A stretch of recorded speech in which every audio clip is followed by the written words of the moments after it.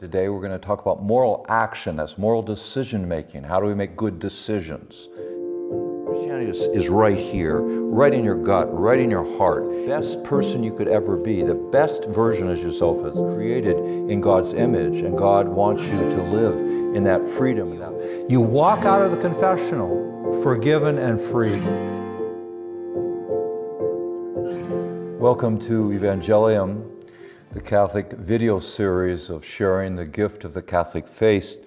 We're now in a section of the Catechism called morality, and today we're going to talk about moral action. That's moral decision making. How do we make good decisions? What's sin? Uh, sin is turning away from God. What is venial sin? What is mortal sin? And then we'll talk also about where we're tempted to sin, how we're tempted to sin, to turn away from God, to turn away from our true selves, really. Uh, and that's going to be uh, the, we're going to talk about the flesh, uh, we're going to talk about uh, the world, and we're going to talk about uh, Satan himself, the devil who tempts us. But before we do that, let's always begin with this beautiful prayer, a very encompassing prayer of St. Thomas Aquinas that asks for everything we do here to be really in the midst of our life, that we are deeply Catholic in everything we do, reflecting the richness of the faith. So let's begin in the name of the Father, and to the Son, and to the Holy Spirit. Amen.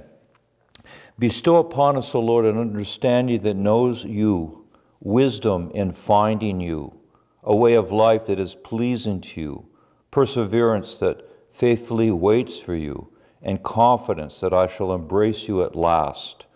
Amen. In the name of the Father, and of the Son, and of the Holy Spirit. Amen. And let me just say how important uh, these series are, especially this series on morality because we live in a time of relativism. Relativism refers to a doctrine that denies the reality of absolute truth. You know, there's objective truth and there's subjective truth. Subjective truth is saying, um, you like vanilla ice cream, I like chocolate, and uh, we can have an opinion on both of those, and they both could be correct. But objective truth is, says there is an absolute truth that, that is uh, universal. And uh, obviously, the church, church, teaches universal objective moral truth that is in contradiction to the, the time of relativism that we're in. And there's religious relativism. You know, beginning of this uh, evangelium, we said, "Who is Jesus?" You know, in in Alpha program, he's just is just another prophet, another holy man. No, uh, he's unique, and so too is the church unique. Uh, there is no church that is founded by Jesus Christ but the Catholic Church. So it's the one true church. So you can't have relative, religious relativism because that means that everything's the same. Well, it's not. And so we're going to really delve into this uh, moral teaching the next few times, the next two times we get together so we can kind of get a perspective on how we can live in a culture that maybe even rejects absolute uh, moral truth. And so to help us, let's look at the film series now. Is this what is moral action? Moral action, uh, again, we begin with a beautiful definition. A moral action is any action that proceeds from our deliberate will we have responsibility for such actions, all of which are either good or either. So the beautiful part about a human person, as opposed to a dog or a cat, is we have a will. We can choose. A dog or cat cannot choose. Their, their, their, their instincts are, are driving them. As moral people, as human beings, we proceed with a deliberate will. Now that will can be formed. We can form that will, as we saw last time, in virtue, or we can lose that sense of goodness in vice. And so we make those moral decisions and they create actions. So a good idea creates a good action, creates a good virtue, creates a good character, creates a destiny, as we said, a destiny in heaven with the Lord. So either good or evil. And that's what we're going to talk about uh, as we look at a moral action. One of the more unique abilities of human beings is directing our own lives. We can make the choice. You make choices every day, a hundred choices a day. Some are insignificant, some are quite significant. We're free to choose our actions. We are not simply determined by our instinct. As I said, animals are determined by their instinct. This freedom enables us to be creative and to choose from any among possible good actions. Genesis says, You may freely eat of every tree of the garden. Do you remember that? That was God's commandment to Adam and Eve. And what happened is they chose a moral action, they chose a moral decision opposed to the commandment of God, and they sinned deeply that affected every human heart from then on. So, unfortunately, this freedom is also enabled to choose things that are evil. That's contrary to what is good for us in, goods, in God's commandments. But of the tree of the knowledge of good and evil you shall not eat, for in that day you'll eat, you shall die. And remember the discussion with the devil of you shall not die? He asked, Is, is that true? And they, and they said, Well, God said it. He says, You won't to die. In fact, you'll know what good and evil is. And what happens is that temptation comes and, and they do die, spiritually die. And we know that uh, mortal sin is a spiritual death. And so, rejecting God's commandments, you do die spiritually. So, God desires us to choose only what is good for us because He's created us out of love to be His adopted children, free and holy and happy with Him forever. That's it.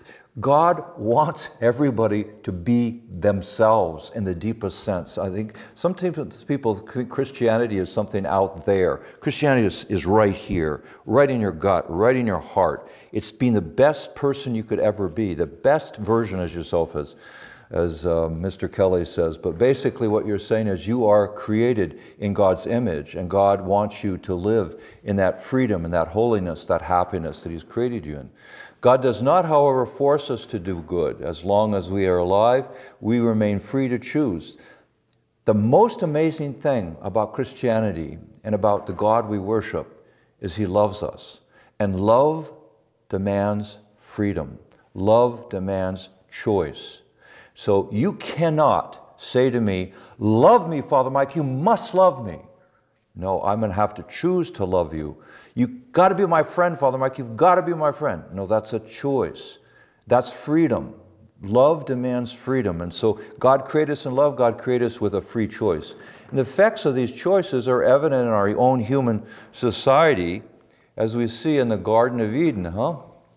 We have the serpent devil appears in luminous, attractive colors, shows the temptation appears in all kinds of ways. And we're going to talk about those temptations as they come into their life. The woman takes the forbidden fruit and he eats the forbidden fruit.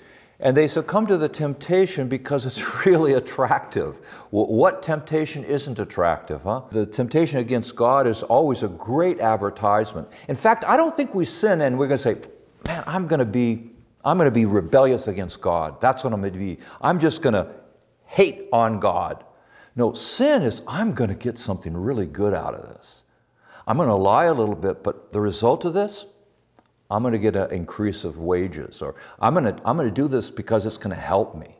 See, I don't think we uh, sin to think it's going to be bad for us. I think we sin because it's good, good for us. And that's the, the warpedness of sin. In fact, St. Thomas Aquinas, or St. St. Augustine said that we are uh, curved in on ourselves, that we always think, we think about ourselves first and how it can serve ourselves. That's kind of the effect of, of original sin. We'll talk about that a little later with a strange word called concupiscence. And it's, it's, a, it's a word that describes the, the effect of original sin. Original, original sin is still with us even after baptism. So, but anyhow, it's, it's like advertisements. Sins are great advertisements. So, what is a sin? Let's take a look. You know, even being Catholics for many years, maybe we haven't even thought about what is sin? Is this, out here somewhere? But if it affects me, I'd like to know what it's about. Here's a beautiful definition A sin is a deliberate evil action a thought, word, or deed, or a mission contrary to God's will. A sin is an action that's bad, evil.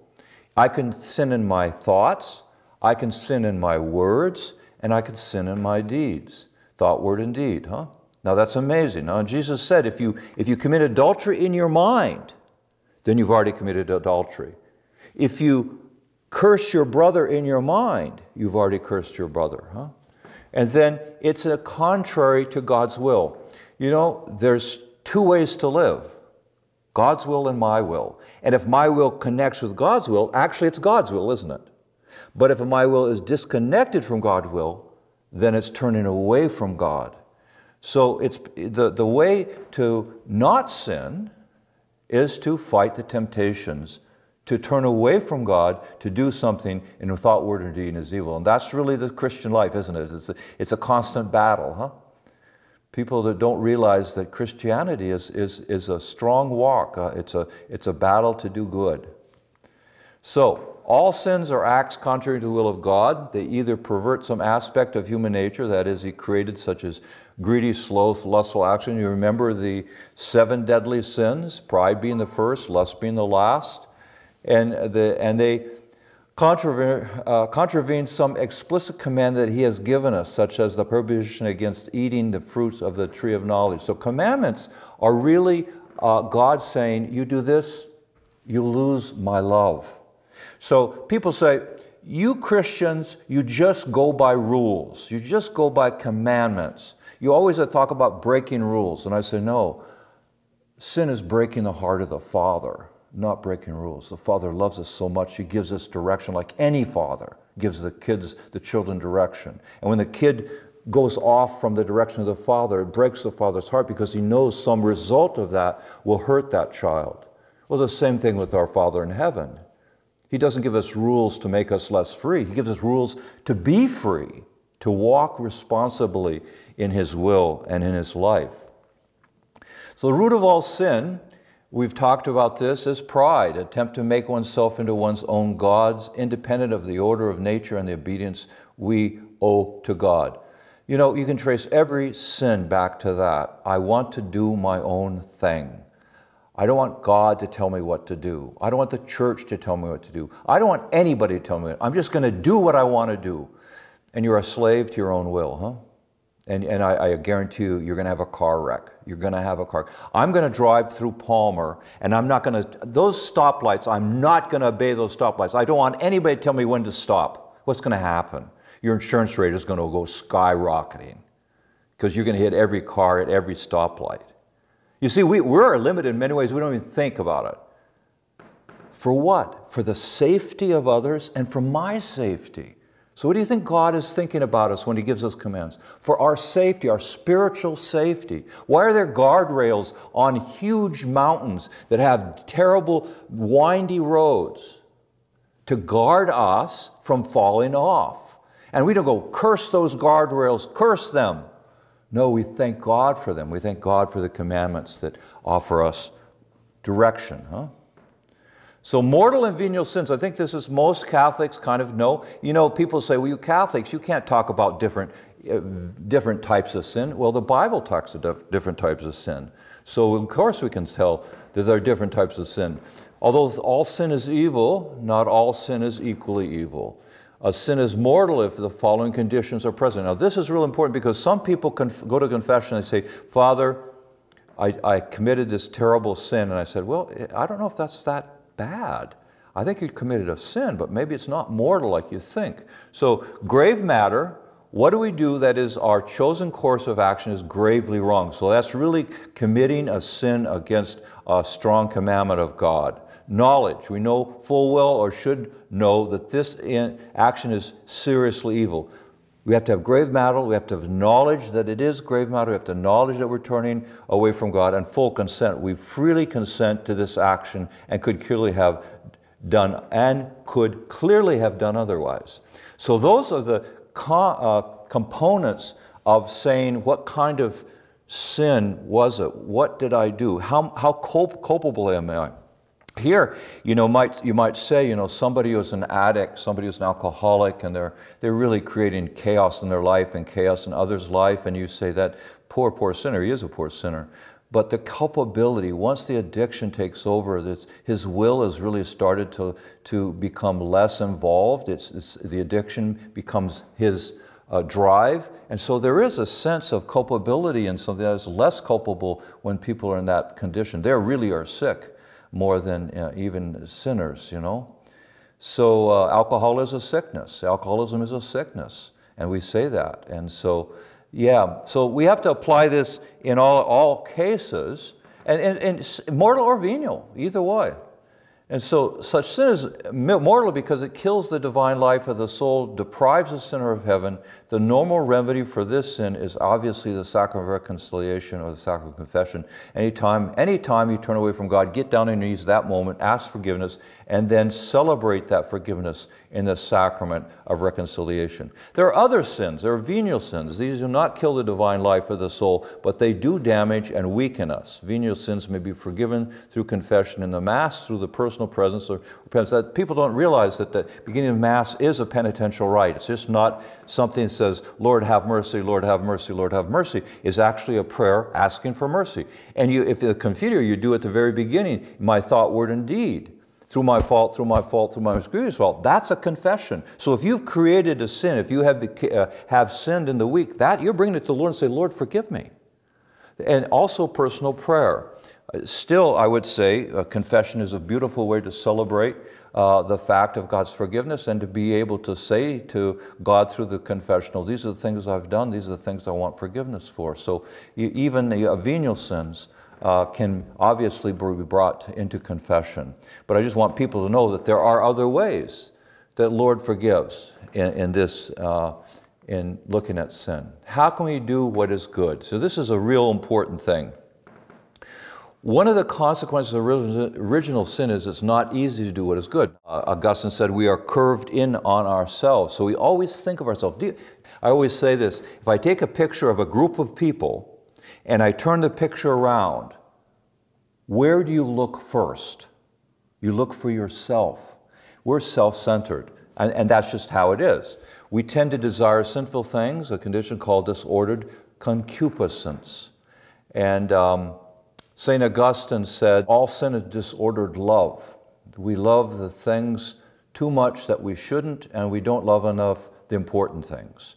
So our love is disordered, and therefore we sin. A good conscience formed through the study of moral law, a good example helps us to judge what is right.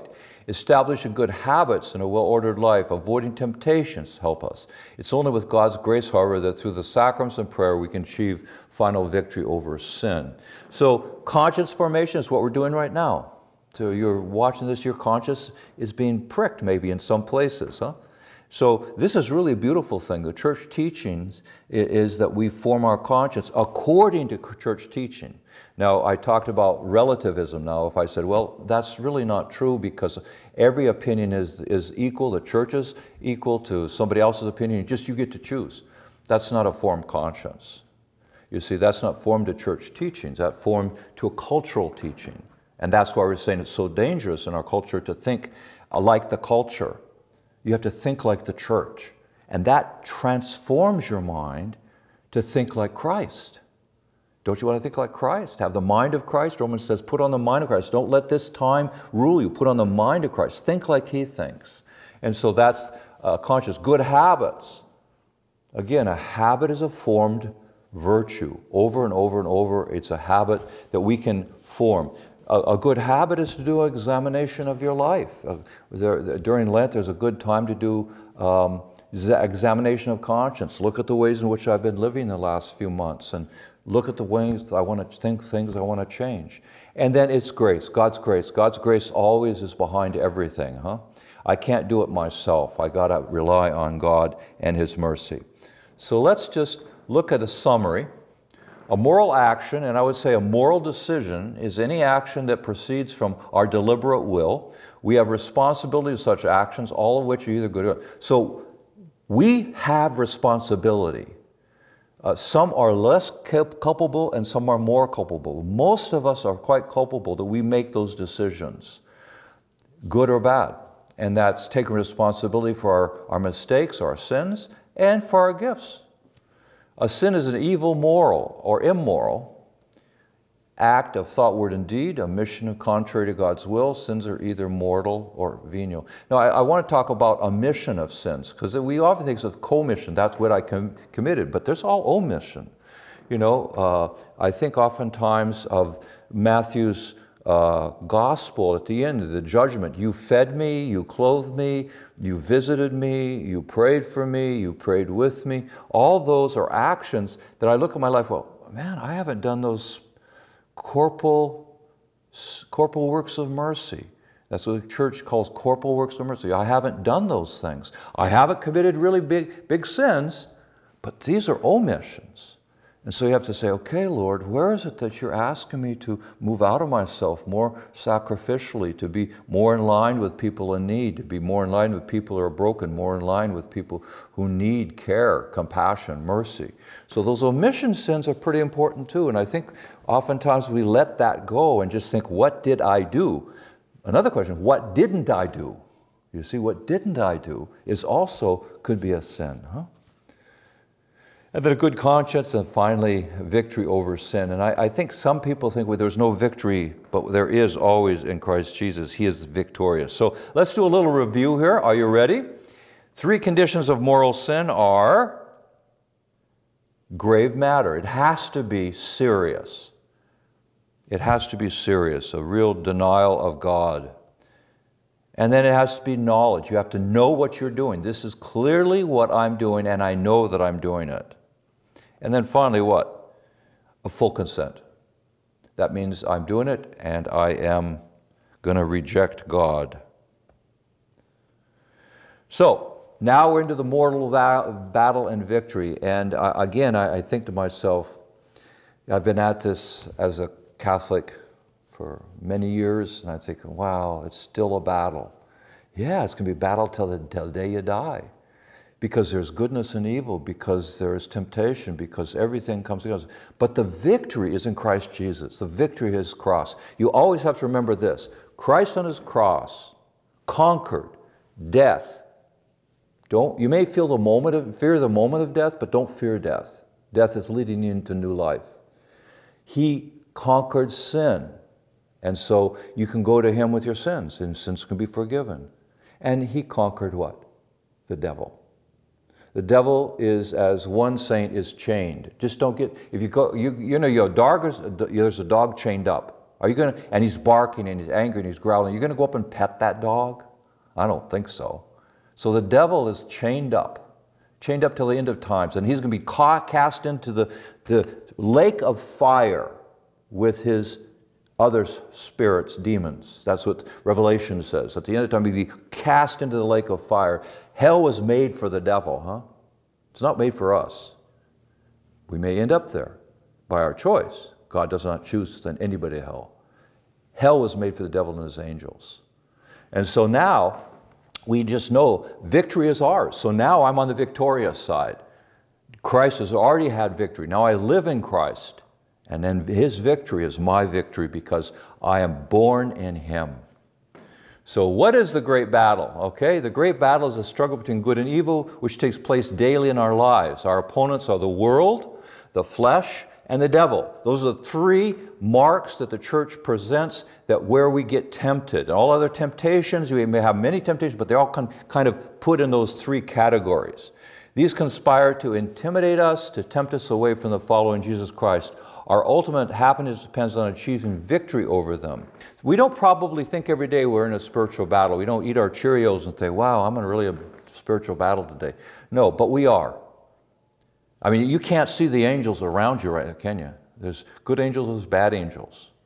And they're, and they're fighting for your soul. They're fighting to defeat you. They're fighting to take you down. They're fighting to, to, they hate you. The bad angels hate you. Because why? I always wondered about this. I read an article. It says, the devil and his angels hate you because they can't choose their future. It's already chosen for them. They are going to hell.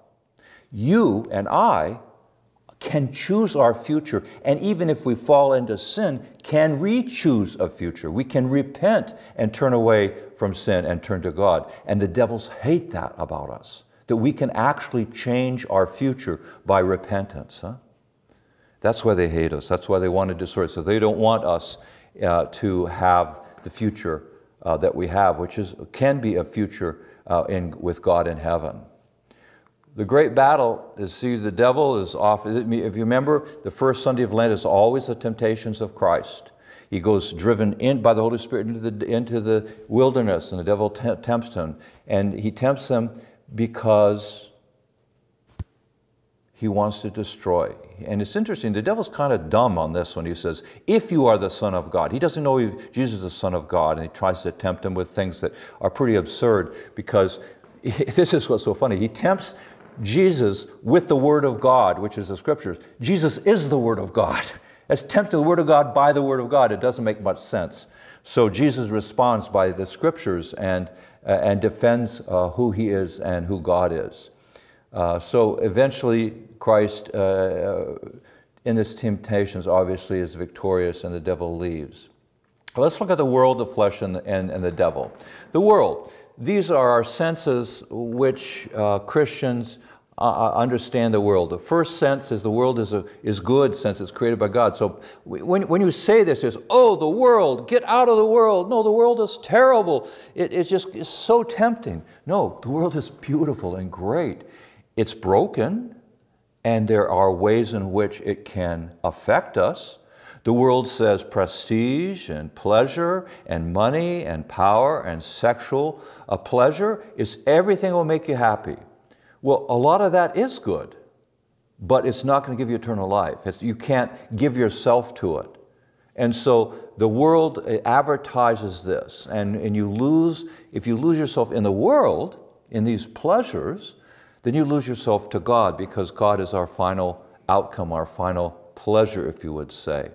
So, unfortunately, however, there are good, evil influences in the world opposed to God's will and good actions. These are influences collectively referred to as the world. The world is our enemy in the sense, uh, the sense of because it encourages evil, discourages good. So again, so I, I think, um, again, uh, when we say this, the world, of flesh, and the devil, the world is good. The world is created by God. Every, everything he said, he says, this is good. This is beautiful. But even the most beautiful thing can be corrupted, can it? it anything can take us down. Uh, if I think that I should take care of my family and that I should earn a good living, that's absolutely necessary. But then I say, I'm to even, I'm going to spend more money, I'm going to spend more time earning money than being with my family. That already is a corrupted good, huh? So I lose contact with my kids, I lose contact with my wife, and pretty soon I'm driven to have more and more and more, and I have less and less and less of family. So you think anything can corrupt us in the world. So let's look now at the temptations. Ideas, this is how the, the, the, we're tempted in, in the world, for instance. Ideals and slogans, empty pleasures, empty examples, mental persecutions, uh, and physical persecutions. So the ideas and slogans, you only live once. You're your own captain, huh? Empty pleasures. Rich and selfish living. Eat, drink, and be merry, for tomorrow you'll die. Yeah, and you'll go to hell.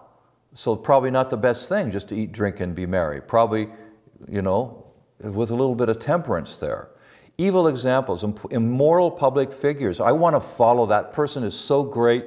They've been married seven times and I just think it's a great life they're living. I'm just going to be like them.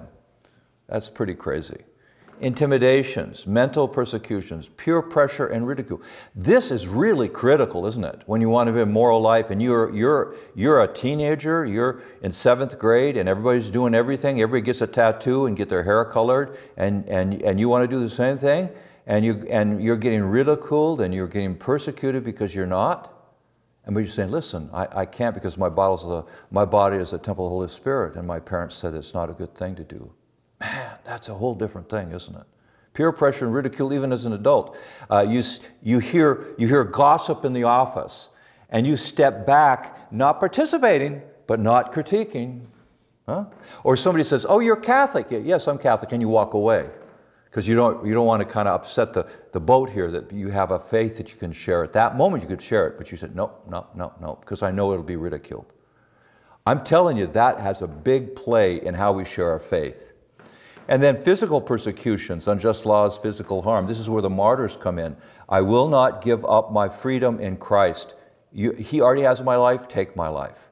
So those are the way in which the world really acts in our, in our life, isn't it, huh? So this is, this is really good stuff to pray about, really good stuff to look at. So let's look at the flesh now. Again, please hear me. This flesh is really good. This is, God created Mike Shields in body and soul. I'm not a spirit. He created me in with this body. This body, it's getting older, but it's me. And I kind of like it. And God kind of liked it. He said, He created Adam and says, This is good. And yeah, even she is good. So the flesh is not something that we, we ignore. But the flesh here is, means an enemy that it's concupiscence. It goes by its own desires, its own desires. And so I desire to eat chocolate cake and I eat the whole chocolate cake. And pretty soon I get sick because the flesh will be, drives me into my own desires and, and what I want to fulfill the pleasures of my life. So pleasures are good, things created by God. Chocolate cake's great. However, disordered and unrestrained pursuit of pleasure in our fallen condition, risking domination in our life and enslaving us. Huh? In addition to fear of pain or any prevents us from doing the good that we should do. So we have, you know, we have this desire for pleasure. I'm just going to follow. If it feels good, do it. Now that's that's probably one of the bylines today in our culture. If it feels good, do it. Well, yeah, but that really can lead you to some pretty hard, hard, hard things in your life away from God. Huh? And then um, fear of pain. I'm not going to do sacrificial stuff because I might hurt a little. It might be, might be difficult. I might have to give up things, sacrifice. So um, the flesh is here, is the temptations uh, disordered desires of certain things, eating disorders, sex, or drug addictions. This is where we really have a serious addiction to pornography today. This is probably the major addic addiction that I see in our culture because we have dehumanized the, the flesh, the body of another person, and made them into an object. You see, you're supposed to love people and use things. Our culture uses people and loves things. That's the opposite of what we're being created to do. We're supposed to love people, use things. We use people and love things. And that's what pornography is, is using another person for our own sexual fantasies. So I say these are disordered desire, desires and come in all kinds of ways. And that's where the twisting of the truth, the twisting of our goodness, the twisting of our flesh then creates uh, uh, problems and sin. So intimidations, disordered fears of certain things, the fear of effort, hostile reactions, or sacrifice. These are things that I think, again, fear rules culture. When fear rules culture, you're not going to step out of yourself. You're not going to help another person. You're not going to sacrifice. It's, a, it's an effort beyond yourself. Um, but you know, love is sacrifice. You have to, if you're love, you're going to sacrifice. You're going to hurt a little. In fact, you're going to hurt a lot. You're going to give up yourself a lot. You're not going to win arguments. You're not going to say, I'm right all the time. No, love demands a sacrifice of saying, I'm sorry, and, and, and making that amends and, and, and begin, being humiliated by our mistakes. And uh, disordered fears uh, is not going to allow it to do, us, to do that. So the devil here, so we have the world, we have the flesh and the devil, the, the, the three-pronged ways in which temptation enters into our life. Now, we're talking about temptations, right? We're talking about moving into sin. Temptation is not a sin. Temptation is a doorway into sin, and we have to know that. Eh, no matter what temptations come into your mind, if you don't agree to them, they're not sins. They're just temptations. In fact, it can be real victories. So the devil and his fallen angels are the spiritual enemies because of their hatred of God and their desire to deserve, uh, deprive us of eternal happiness. Again, what I'm saying is they're not going to be happy. They don't want you to be happy eternally. These creatures also have intellects. They, are, they use their perverted way against us, thoughts, word, and deeds, as well as acting directly. They uh, use the world and flesh against us. For this reason, the attacks against Christians often seem to be uh, organized in a strategic way? Well, they are. The, the devil uses our thoughts, uses our, our actions, uses our weakness. He plays us like a fiddle sometimes. He's intellectual, he's in, intelligent but not wise. Uh, there's a big difference. He's intelligent in the sense he, he can see where the weakness is and he can play those weaknesses. So here are the temptations, empty promises. If you will, then worship me and all will be yours. This is a, you know, the devil is tempting Jesus. And the problem, again, if you will, it already belongs to Jesus. Everything, the whole world kingdoms. And the devil says, if you will, you have all these kingdoms. Jesus kind of looks, excuse me, they're already mine? You're trying to give me my stuff back? It's so funny. This, if you look at the temptations, it's kind of a humorous thing. The devil is, in this way, intelligent, really not knowing who he's talking with. If you will, if you are. So he doesn't know really who Jesus is at this moment. So the beautiful thing about it is we can see the emptiness of promises. The lies. Who is the devil? He's the father of lies, they say, the one who lies constantly. He takes the truth and he twists it, twists it so bad becomes good and good becomes bad. And that's what he's good at. So lies seem at, at first to be okay. There's something not quite right about it. Well, if you feel that, that's probably the evil one trying to tempt you. The intimidations, uh, the threats, state threat, the confusion, evil prophets. And I think you can say cultural institutions that could threaten us. Uh, some, if you speak about moral issues today, sometimes you're going to be threatened by the state. You're going to be threatened by the culture. You're, you're going to be called canceled. You cancel culture. You're going to be canceled because you're teaching what the church teaches. And in that cancel culture, you're not going to be appreciated. You're, in fact, you're not going to be approved and you, you'll be canceled. And I know there are people who are speaking out morally in issues today uh, that are being canceled on, on, on, internet and on Facebook and on other places. So the threats really are, intimidations are real. They are real. You can lose a job uh, if you come up uh, against a certain issue. Uh, you can lose uh, a profession if you say, I can't do this because I don't believe this is morally right. So then the confusion of our time, people are so confused what goodness is, what badness is. It's again, relativity or uh, relativism allows us to say everything is the same, and everything can't be the same. Uh, C.S. Lewis said, the person who believes in relativism is the first one to critique when somebody cuts in line in front of him. You see, there is a truth. We all have a truth deep down inside. Relativity is not real. It just isn't real. We don't live that way. We may intellectually believe it, but we don't live. There is truth in our life that we follow. So, the victory in Christ, all Christians face temptations and intimidations following Jesus Christ. Christ Himself said that. Christ Himself, however, has conquered the world of fellowship. Christ said, You are going to face difficulties in the world. But don't despair, I've conquered the world. I've conquered sin. I've conquered the flesh. If we call on God's help and use the aids given in Scripture in the church, we have all we need to fight the great battle. In the world, you face persecutions, but take courage, I have conquered the world. John 16. We're in this fight, it's not hopeless. You know, oh man, this life is so, so hard. So what? You got Christ on your side. This is the Son of God, the second person of the Blessed Trinity, died for you on the cross, forgiven your sins, redeemed you, called him as your son, called you as his daughter. Excuse me, you've got everything you need to be victorious. Sin does not have to rule your life.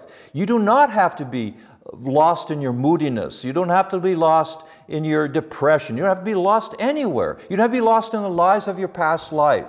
Let, the, let Christ and his victory touch you and heal you and bring you into the present, which is victory in Christ Jesus on the cross. So let's just do a summary again. The great battle is a struggle between good and evil. We have a spiritual battle. Uh, we don't just battle against the flesh and, and we don't just the world, but we battle about principalities and powers, Paul says. There is ways that I am not actually just tempting by my own thoughts, but the evil one is using those thoughts to tempt me. And the opponents of the world of flesh and devil. The world of flesh and devil may tempt us in various ways, do evil, discourage us from doing good. Okay? It's not only doing evil, but not doing good. That, that's the omission, huh? The omission of sins. I think I, would really like you to, for you to pray about that, the omission of sins, because I don't think we really think of that very often. Although all Christians face temptations and intimidations, we can be victorious. We call on Christ's help, use the aids given the church. The aids are the sacraments, the aids are our prayer, the aids of community, calling people into responsibility, parents calling uh, uh, children into forming their character. You know, God is not more concerned about our comfort, He's more concerned about our character. And so that's going to be a little bit of hard knocks every so often, tough love every so often. That's okay because our character is what we're going to take to heaven. That's our destiny, how we're formed in Christ. So let's uh, take a look at what are the opponents of the great marriage. Now, you should know this. You have the world, you have the flesh, and what is the last? Don't give him too much credit, the devil. Yeah. So, what we're going to do now is we're going to play this, pray this incredible prayer to end up. And this prayer is a, is a battle cry, huh? We got people on our side. We got angels on our side. We got the guardian angels. We got the heavenly choirs. We got the archangels. And we got St. Michael. So don't think you're alone in all this battle. You know, this spiritual battle, sometimes we think, oh man, I just feel so much alone. You're not alone. First of all, you're a Christian community. When one suffers, all suffers. When one rejoices, all rejoices, Paul says. So let's just pray this prayer from our heart and recognize the spiritual battle we're in. Now, some people are really struggling right now. There's watching. People have really a deep spiritual a battle in their life. It could be something that's from the past, a, a, lie that they've lived. It could be a sin. It could be, it could be a sinful act. It could be just a brokenness, a, a weakness that has, has really captured their, their lives, their marriage. And I just ask you, you know, pray with me for the healing of Christ uh, in this. And through, through, through Lent, pray for healing. Um, so let's just turn to St. Michael to instruct us on how in a way to fight this battle because he's, he's the captain of, of the guard. He's the leader of the army. So, in the name of the Father, and of the Son, and of the Holy Spirit.